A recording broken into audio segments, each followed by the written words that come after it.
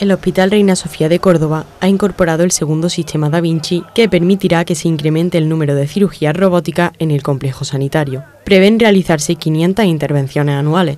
El sistema robótico consolidará al Reina Sofía como un centro referente en dicha modalidad, además de posicionarlo como centro docente, ya que el hospital recibe a profesionales de otros centros para formarlos. Valle García, directora gerente del hospital, ha explicado más a fondo las ventajas de la cirugía robótica. Este tipo de procedimiento quirúrgico mínimamente invasivo lo que produce es menor número de complicaciones, es más preciso, más seguro y además conlleva una recuperación más temprana por parte de los pacientes. Según ha destacado Francisco Anglada, director de la unidad de urología, este tipo de cirugía ha permitido alcanzar casi el 100% de cánceres de próstata intervenidos que previamente eran solo el 60%. Apenas tres años después de su incorporación al mundo de la cirugía, la robótica ha formado parte de más de 500 intervenciones, creándose así la necesidad de adquirir un segundo equipo.